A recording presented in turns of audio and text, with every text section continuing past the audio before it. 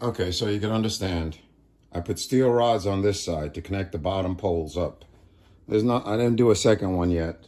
I may do it, may not. It, it, I mean, it adds 50% more, but that's one.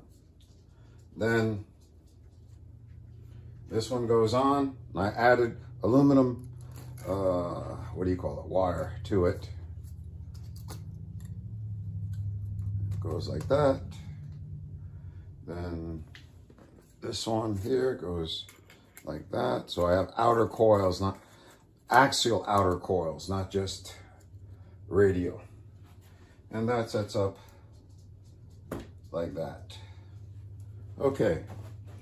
Um, as you can see, I got some tests to do. Um, it takes about an hour for me to down to get these stuff in. So I'm stopping now and you'll see where I'm at next one.